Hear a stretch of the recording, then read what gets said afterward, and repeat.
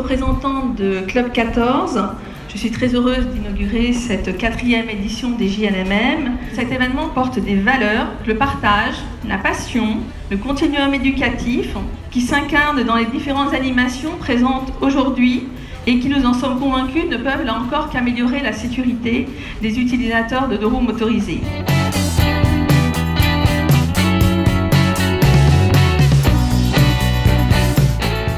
Plaisir de voir que l'innovation s'est invitée au cœur de cette manifestation, un facteur très positif pour la prévention.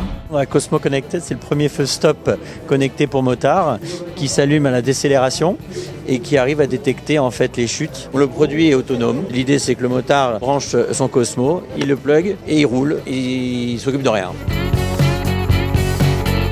C'est un accessoire GPS pour casque de moto qui projette les informations dans le champ de vision. Et on projette toutes les informations euh, de GPS, de navigation en temps réel et, on commande tout le système par commande vocale.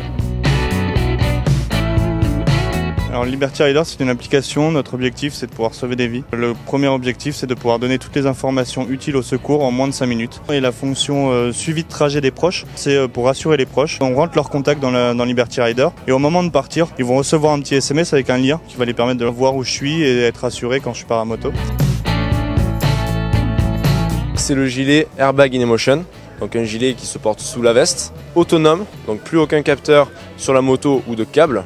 Alors si vous voulez, il y a ici une in-box, donc en fait ça s'intègre dans la dorsale, c'est à la fois le cerveau et la batterie du gilet pour savoir s'il y a euh, un déséquilibre irrécupérable, un choc, euh, une perte de contrôle ou autre. Cette année, AXA Prévention nous accompagne sur un axe qui nous est cher, à savoir le continuum éducatif et les usagers de demain. Sauf tes petits doigts, et eh ben c'est justement sensibiliser aujourd'hui tout le public au fait que quand on est en famille et qu'on prend aussi le deux roues avec des enfants, eh il y a des précautions à prendre, il y a un équipement à prévoir. Et c'est pour ça que pendant tout le week-end, on va distribuer plusieurs centaines de gants pour les enfants puisqu'ils sont devenus obligatoires. Crois que tes copines vont me croire quand tu vas leur dire que tu as fait de la moto Tu sais pas J'espère qu'on t'a donné envie de faire de la moto en tout cas. Mais toujours avec prudence.